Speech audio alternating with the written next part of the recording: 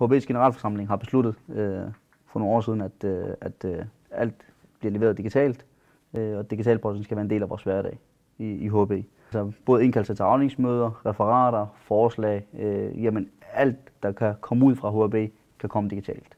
Øh, jamen, i, I dag der kan vi jo kommunikere både på mailen og både e-boks og både på sms. Øh, er man fritaget de forskellige, og man har afleveret en fritagelse øh, fra kommunen af, der er godkendt, så, kan vi jo, så sender vi ud per, per post. Hvis du går ind på borg.dk, så kan du søge og se alt om fritagelse af digital post. Øh, hvis man mener, at man er fritaget digital post, så skal man selv sørge for at tage ned på kommunen og søge fritagelse af digital post. Når du bliver fritaget, øh, så skal du faktisk bare komme herop med fritagelseattesten, øh, hvor vi så øh, tager en kopi og gemmer den også, så vi ved, at du er fritaget, og hvor du derefter øh, vil modtage brev fremover.